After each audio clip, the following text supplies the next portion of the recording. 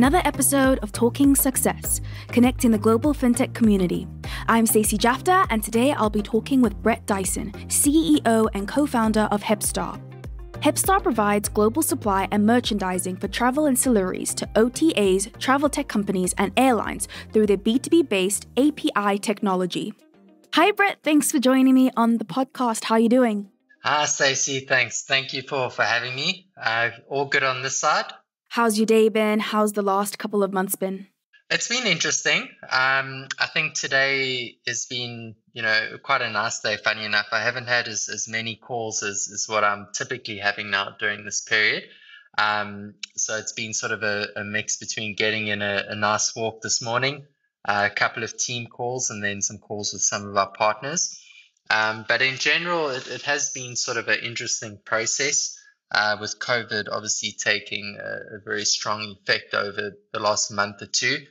Um, we definitely are experiencing far more calls uh, than what we than than what we used to. Really, calls internally amongst the team or with potential and current clients. It's a combination of both. Um, you know, with with clients and prospecting, um, we're seeing maybe a 30 to 40% uh, increase in calls um, on our existing customer base, and then also uh, partners looking to to really expand their, their ancillary horizon or, or increase their, their recovery uh, transition period. Um, and then internally, of course, um, not having those daily stand ups with the team um, managing the team on a daily basis and, and weekly basis um, has been a little bit more difficult. Um, so we've just ensured that we, we have clear communication lines and, and we check in on a, a consistent basis. Can you give a quick rundown of Hepstar and your target audience? So Hepstar is an API-based uh, B2B technology company uh, that's based in Cape Town. It's our HQ uh, where our engineers, data scientists, and product managers are. We also have a subsidiary in Istanbul. And we pretty much play in the travel landscape, uh, or online travel landscape. So, as you can imagine, um, business is a bit difficult at this stage. The calls are, are to a large degree making sure that our customers, uh, partners, and, and, and the team members or stakeholders that we have relationships with are okay, are healthy, uh, their families are okay. Um, we've taken a, very passive approach to, to implementing new projects or even from the prospecting side. Um, for us, we we wouldn't want to be too aggressive from that perspective. Some companies are are just trying to survive during this process. So where our partners do want to move forward on a, a different implementation or, or project, um, we engage with them. Uh, if not, uh, we we're really waiting until you know the dust settles with COVID to to continue those conversations. Um, but back to to the original question, we we bridge tech and travel tech um, in the landscape. So we've got an insurance flavor. Uh, we ultimately you could consider us like a middleware. So we aggregate content from a range of global suppliers um, and this is both travel insurance and there could be other travel ancillary products, which, which we refer to as travel extras. So we've got partners like AXA, Chubb, Ergo, Cornerstone in Nigeria. Just really, it's across the board globally. And then we also offer products like the entertainer based on your travel duration, global Wi Fi, eSIM, and so forth that's the one aspect um, aggregating content and making it available through our partners in their online environments uh, through a single integration and then the second and that's not really rocket science uh, to be honest uh, it just takes time and you need credibility um, the second aspect is we optimize the content that we serve our partners so We've got a, data analytics and optimization team. Uh, so we look at increasing the average revenue per booking uh, in real time based on uh, the various tools that we've got in our platform, uh, which would range from multivariate testing to traffic splitting, our own in house recommendation engine, um, triggers, and their range of other features as well. So, in a nutshell, um, that's what we do. We've seen some wonderful traction, or I would say uh, pre COVID, we were seeing some amazing traction and growth. Um, of course, anyone in the travel landscape now, and I think potentially other verticals, um, is is either seeing no sales or they're starting to see a downturn with with the global economy obviously moving into some form of, of recession uh, during this process. Before we get into it, let's jump to the beginning. I want to know your journey as a person and how you came about the idea of building Hepstar. Um, so I'm not your typical uh, tech guy, um, to be very honest. Uh, when when I started, uh, well, if you if you start from university or graduation, um, I graduated at a university called Nelson Mandela Metropolitan University uh, in Port Elizabeth.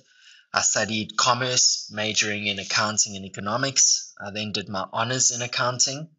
Um, and I went the route of, of doing my articles. So I, qualified as a, a, chartered accountant and at the same time um, did the process of, of doing my CFA levels. Um, and I qualified as a chartered financial analyst. I always thought I'd be an investment banker, to be honest, uh, in New York. That was the plan. To be very honest, I think the intensity, um, I think the the the challenges, I think um, the money, I think the lifestyle. Um, there were a lot of things that interested me. Um, also, being someone that's fairly analytical, um, I thought it would be something that I would excel in. Uh, funny enough, during my articles, I actually started investing in stocks and I made some good money um, in in standard equity stocks and then also using CFDs. Um, but after doing CFA, uh, it taught me a big lesson about life. Um, invest in things that you understand and, and you specialize in. If you don't, you're gambling. Um, so to a large degree, I was gambling. I wasn't investing enough time in the stocks. I was using my gut. Um, I was lucky. Uh, I would absolutely put it down to that. Um, and that's kind of where I got that thought process that investment banking was for me. I then met my partner um, who lived in Cape Town at uh, the Knysna Half Marathon. And um, I decided to move to Cape Town uh, and, and really put that on hold to see where that journey would go. And I finished my articles at an audit firm in, in Cape Town and then joined an asset manager I didn't enjoy asset management. I know a lot of people do. Um, I just didn't see the value in me doing it in the long term, uh, in terms of their processes and, and what the ultimate goal was. Um, and then I got approached by our angel investor, uh, Stefan Ekberg, who's invested in, in a range of, of global tech companies, uh, to, to join and co found Hepstar and it's been six years. Uh, I haven't I haven't looked back. Um, I think startups are challenging. Nothing is a given.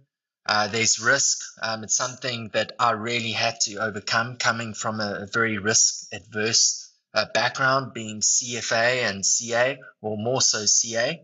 Um, and you have to be comfortable with that, that there's no guarantee of tomorrow or a job in six months. So it took me a bit of time to, to really deal with my emotions because um, it can be fairly challenging and it's, it's not for everyone. But at the same time, it's been an unbelievably fulfilling journey. Um, and I would not take away any of my experiences, the good and the bad. Um, I'm pretty much in, in tech for life now. You've mentioned here and there that there have been some highs and lows in your experience as an entrepreneur. What exactly were those?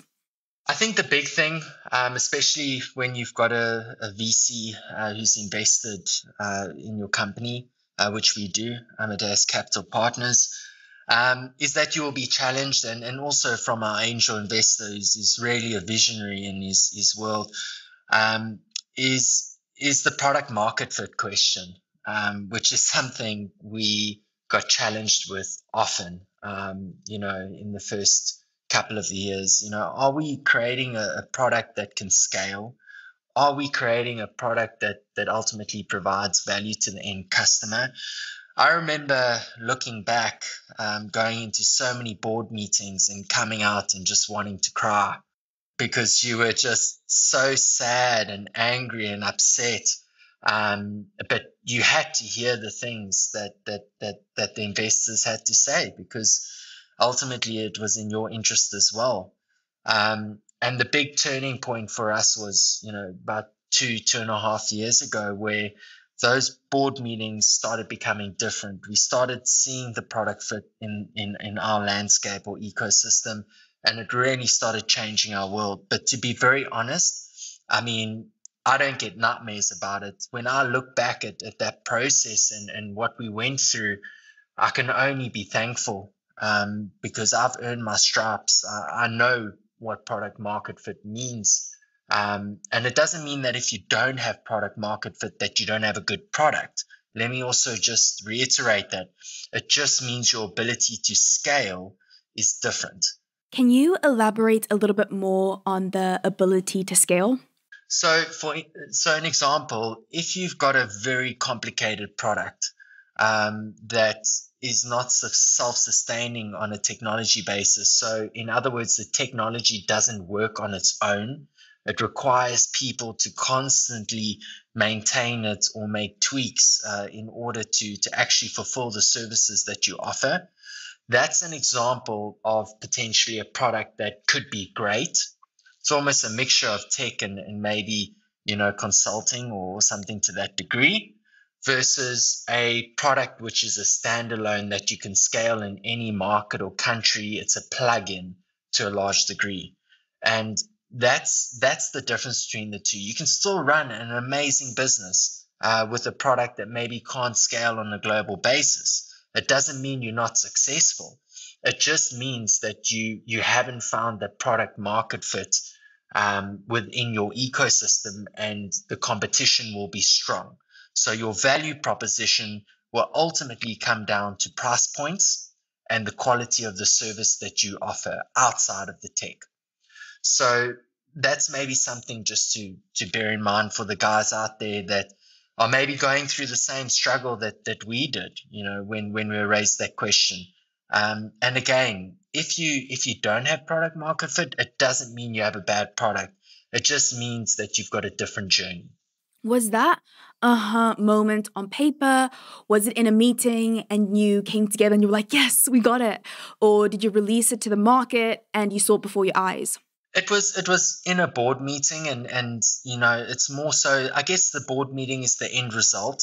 It was a couple of things. The value proposition changed. We we changed some of the tech. Um, you know, we we introduced uh, new products verticals uh, into the platform to increase the return on investment that our partners get. Uh, the tech is completely self fulfilling. Um, you know, from from that perspective, uh, we do have an optimization team, you know, from a revenue management perspective. So we do have some form of consulting um, in our business, but the traction we're getting from the markets and the, the players that want to work with us um, really led to that point where we said, you know, we've got this, we've got a business here, and we can make it global the way that we've we've built out the platform. Nice. Your product is heavily intertwined with the travel industry. How has your product been impacted by COVID 19 and has there been a need to pivot? We're very fortunate in the sense that we believe the products we offer will just will be just as applicable, you know, pre and post COVID. Um, you know, some of the examples I mentioned before being, you know, travel insurance, uh, the entertainer, global Wi-Fi, eSIM, physical SIM. We don't think that's going to change. Um, we play in the online e-commerce environments as well. So we believe during the COVID process, we'll, we'll probably see big customer segmentations and demographics, which are, were more traditional purchasing uh, customers, moving to a more uh, online uh, environment. Um, so the adoption of online channels, I think, will increase dramatically because once that customer base shifts, they never go back. I mean, if you think about those old Nokia phones we all had, I don't know, maybe 10 or 15 years ago. If you walked up to someone now and said, Would you like a Nokia phone or would you like the, the latest, you know, Apple or, or Samsung? Um, I guarantee you that they 99% of people are going to choose the Apple or Samsung. You're going to get the 1% who says, you know, actually, maybe that Nokia was amazing. Unless you want the brick, the one that can fall and never break. Exactly, exactly, exactly. Um, so we've been very fortunate. Um, for us, it's more about timing.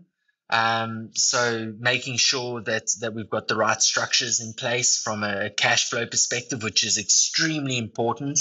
Um, right now, cash is king uh, for everyone. So you know, managing your supplier relationships, um, our distributors, making sure we're managing our costs very carefully.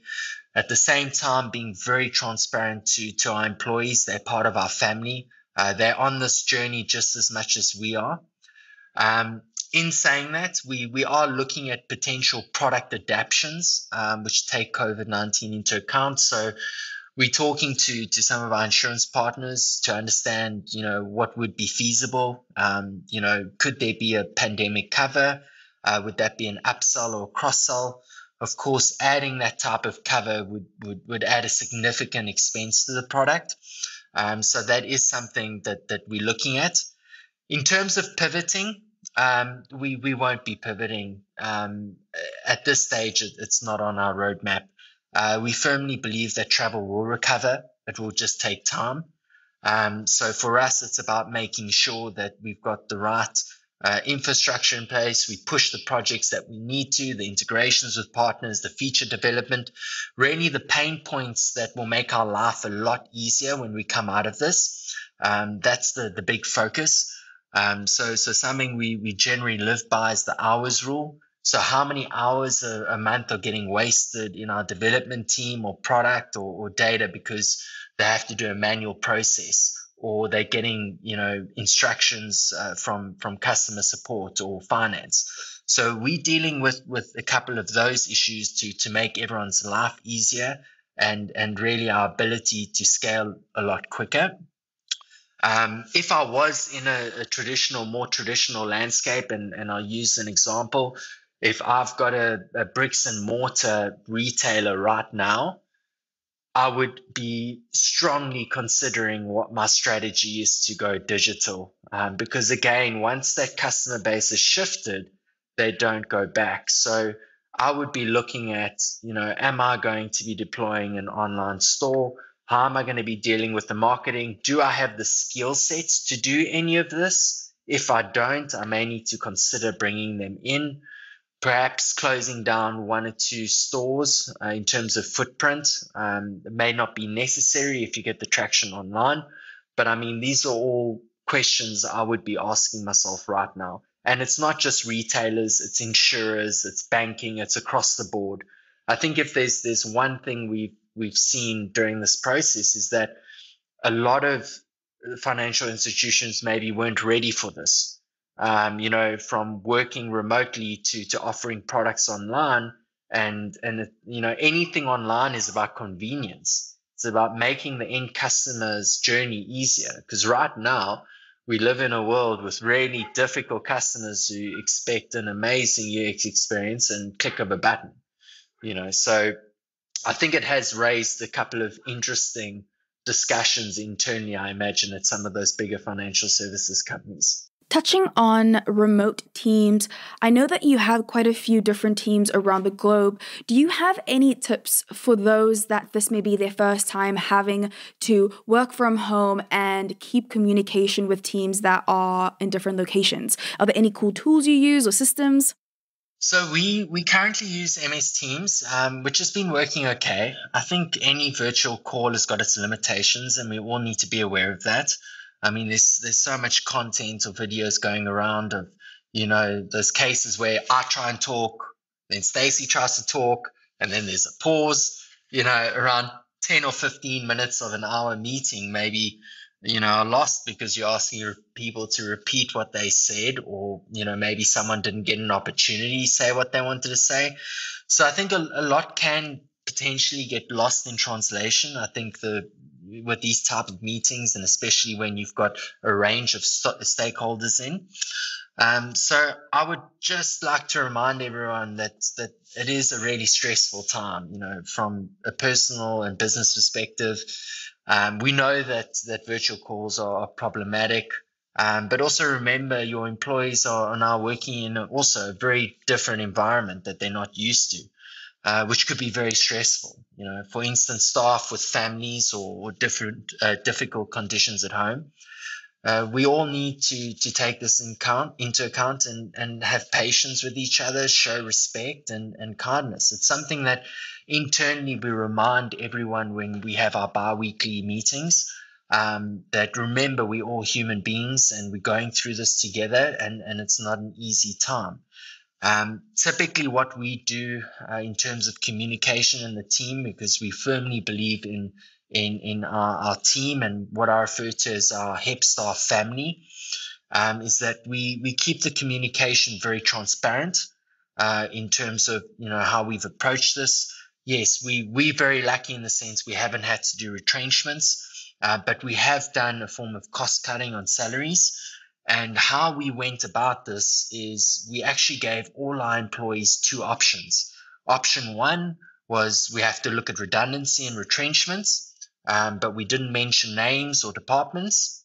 And the second was, well, look, we'll do salary reductions on this scale, starting with executive management taking the biggest hit, working its way down to, to less senior staff, but on a sliding scale that made sense for everyone to ensure everyone still earned money and, and could make a living. Um, it was overwhelmingly positive. Um, you know, everyone, barring you know one or two people, um, went with option two. And for me, this was extremely important because we're in this together. It's a group decision. You know, it's going to be a journey. This is not a two or three week you know impact. It's it's potentially months six to 12 months. So getting everyone's buy-in and and letting them feel empowered was one of the most important things for for the executive team. Um, and we're fortunate that that everyone is on the same page. Um, of course with the the reduction in, in salaries we've deployed you know four day weeks or four and a half day weeks um, to ensure that it's equitable across everyone um, another example of what we're doing is uh, each of the team leads has daily check ins with their team. Um, and this is from not only a work perspective, but personal.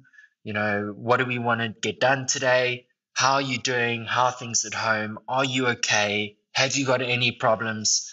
Um, and then ultimately that's fed back into the executive team the executive team has has uh, at least weekly calls with the, the leads. Uh, we obviously have a lot of different, um, let's call it, uh, stand-up meetings across the, the different departments. And again, it's it's a time for for the team leads to to really tell us what they want to tell us. It's not about me or the other executives; it's about them. Um, it's a chance for them to to really let off some steam because again, everyone needs to remember this can be absolutely frustrating um, for employees where you're not you're not able to work at the productivity that you used to. So if on a scale of one to ten, you know, when you're normally in an environment that you used to, so the people that are not used to remote working, maybe you're working at 10. In a remote environment, you may be working at seven to eight effectively. So things take longer you know, people get frustrated and that really needs to be managed. Our product team is, is being really, really strong. Um, our development team has been doing okay, but they, you know, they, there's they situations that, that unfortunately are, are a bit more difficult uh, within that environment. Um, you know, so I would say definitely product. Our finance team's been a bit interesting because working remotely, you know, having local server, it's a different way of working. Also, with finance, it's far easier to, to sit and explain something to someone uh, using hand movements and gestures and, and really talking them through something. Exactly. Um, versus, you know, having a remote call, sharing a screen, the sheet, the screen's sharing doesn't work.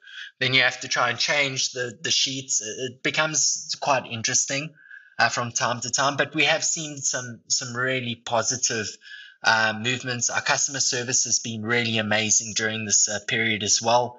Um, a lot of stress on them, you know, with a lot of, you know, claims and customer queries coming through because of COVID.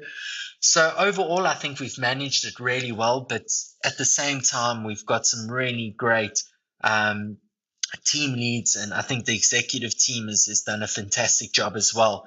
You know, from the outset, for us, it was about two things. Um, you know, it was about our people and then it was it was about our partners. Um, those were the, the two key things outside of cash flows. The last thing I would just mention here, and, and maybe something other companies can look at deploying, um, just to ease the mood and, and allow employees to to remember why they love working where they do and why they love working with with their, their, their fellow employees is that we got two of our what we refer to as spirit warriors uh, to come up with some digital uh, social events to to to really you know ease the mood and and, and make it less stressful uh, for everyone. Um, so this is something we started, you know, two or three weeks ago, and it's been absolutely helpful. Of course, it's not mandatory to everyone. Uh, the staff can opt in if they want to. Um, and some of the, the activities that we do. So this the last two weeks we've done online bingo uh, with the team. Uh, you can change your background. You can wear a hat. You can do what you want. You can have a drink, have a coffee. Um, it's been really fun. Um, and then we're also planning on doing online cooking classes. So we actually did a cooking class with our team. One of my coworkers, her husband is an executive chef, and he taught us how to make the perfect steak, and we loved it. It was so much fun, and we were laughing, and we actually learned something from it. So, yeah, it's a great idea. Yeah, we, we don't have any chefs yet, uh, but we could have some. Um, but we we planning on on letting one of the employees to take the cooking class. Um, so they'll give ultimately everyone else the opportunity to watch, uh, get the recipe, and really make it as interactive as possible. Uh, so that's something on the cards. And then we're also looking at uh, online yoga. So one of our our team members taking a class. It definitely won't be me. I'm not I'm not uh, the most flexible person, and and I consider myself uh, very much at the beginner stage. Um, outside of that, we do ad hoc challenges. So we ask everyone to take a photo when they're taking out the bins, or take a photo with your pets um, or with your family, and then we put it together and then send uh, a collage to everyone. Uh, exactly. So I guess those are, are some of the things. Um, other companies can try. Uh, for us, it's working well. Um, but again, I think we're fortunate. We've got a, a, a great team. We spoke earlier about how you have teams all over the world. How are they divided? Are they divided by department or are the teams mixed and matched? So our we've got two two entities, the ones in Cape Town and the others in uh, Istanbul, uh, Turkey. So our engineering and product and analytics team and and uh, um, back office staff are all in Cape Town. Then in Istanbul, we've got an operations team, um, which which really is our foot into Europe. Um, our chief sales officer is in Lisbon, and then one of our sales managers in Bermuda. Um, I think we we're very fortunate in the sense that we can work remotely. Uh, in terms of our tech, everything's cloud hosted. Uh, it's fairly easy to manage. Yes, has it got challenges? Absolutely. Can you read someone the wrong way? Absolutely. It's about dealing with it and being honest and transparent. So if I've said something funny to someone, afterwards they they drop me a little MS Teams. What did you mean by this? And then we have a little chat and we iron it out. Um, but we we're very lucky in the sense that, that we do consider ourselves uh, truly a, a, global tech company. We employ people uh, that are well across across global markets. Our head of analytics is from uh, Netherlands. Um, our, some of our developers are from um, Nigeria. We've got staff from Zimbabwe. Um, you know, we we're very open to a multicultural environment. Um, I think it's really important to have you know different cultures in an office environment so that you can learn and grow um, as a person. Where do you get more of your inspiration from? This can be a mentor, books. I generally read uh, nonfiction books. Um, I'm not much of a, a fiction person, unfortunately. Um, I think it's a, a, great base to learn from uh, some of the greatest entrepreneurs in the world. But I would suggest you you really take the good, throw out the bad, and do it your way. Um, some books I, I, would really recommend are, are ben, ben, Horowitz, The Hard Thing About the Hard Things, uh, Peter Thiel's Zero to One, and then pretty much any book on, on Elon Musk is, is fascinating. Um, I learn more from, from the books than draw inspiration, to be honest. Uh, my inspiration is is drawn from my mentors who are, are really close to me. As an entrepreneur, you can often live a, a lonely life carrying the concerns and, and, challenges of your business on your shoulders uh, alone to a large degree. You can't share this with your employees. It would be too unsettling, you know, and also almost 90% of the time, you know, these thoughts and emotions are really unfounded. Uh, they, they can create panic, panic. Um, but it is important to, to share these, these thoughts and emotions with, with mentors or people close to you. I'm very fortunate that I've got some, some great uh, mentors and close friends that I rely on. Uh, starting from our investors, uh, Stefan Eckberg and, and Andrea Traverstone, uh, to my co-founder, Heinrich Brandt, who's an absolute stone and rock in our business. And then close friends of mine in tech as well, um, Sean Martin and, and. It's good, I believe, to, to have a variety of, of mentors that you can reach out to uh, for different purposes and really let off that steam. However, if I had to to choose someone, um, it would be my sister. She's an unbelievably smart person, uh, a director at an investment bank in London has two little gorgeous ones that absolutely adore her, and she manages to juggle everything. Um, I'm not really sure how she does it, but I'm truly amazed to this day. Um, and the thing that I really love about her and, and, and what she gives me, and she gives me a lot, is she really understands me and she always gives me the advice that I don't want to hear, but I need to hear. And family does do that. And, you know, I'm very lucky in the sense that, you know, Heinrich and, and my close friends also do that to me.